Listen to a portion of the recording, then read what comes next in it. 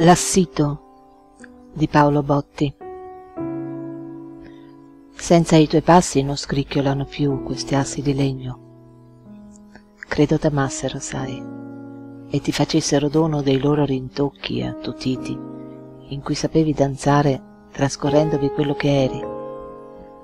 Semplicemente ti poggiavi su me, lieve come una lentiggine a colorare la mia vita, nascosta, minuta come fogliame, apparecchiando i miei sensi d'un suono di flauto, isolato dal mondo che nessuno distingue e che forgiavi per me. Ormai non tendo l'orecchio e i piedi sono nudi per fare silenzio. L'assito, un intruso, diventato un abisso, non mi risponde e fa buio a stare qui, fermo.